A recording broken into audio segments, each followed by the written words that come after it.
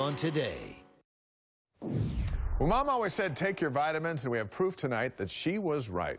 Scientists in the United Kingdom have documented actual repairs in muscle fibers triggered by D3. As science specialist Ed Yeates reports, it reinforces what Utah researchers have already discovered. I had an ACL tear, and I also actually broke my ankle on the same exact leg. Athlete Jake Benson has come a long way since his injury last year. Um, it was about eight months of recovery, and then uh, cleared to pretty much do everything about after 10. Now here at the Orthopedic Specialty Hospital, or TOSH as it's called, Jake is strengthening muscles, hoping to play football at Utah State next season. This is a fairly routine pattern athletes follow, making the most of the time it takes to recover from an injury. But what if you could wind the clock oh, the other way? It's happening. In continuing studies over the past three years, researchers at TOSH have been inducing muscle soreness and weakness in healthy volunteers using this machine. The difference?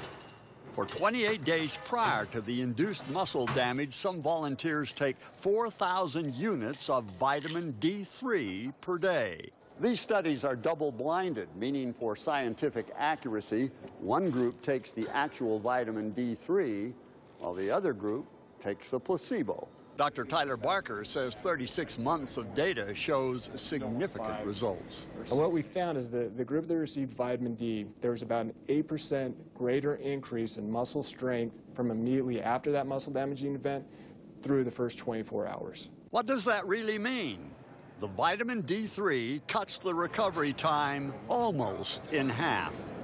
Tosh is in a unique position for research since this is a gathering place for those with all kinds of athletic injuries, plus those needing knee replacements.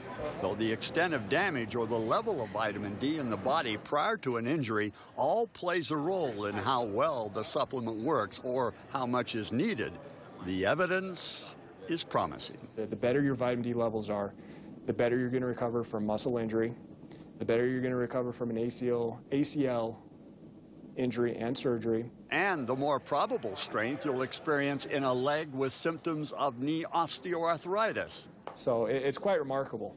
Though Jake Benson never participated in the Tosh trials. It's definitely worth a try. I mean, it sounds pretty good. Ed Yeates, KSL 5 News at Tosh.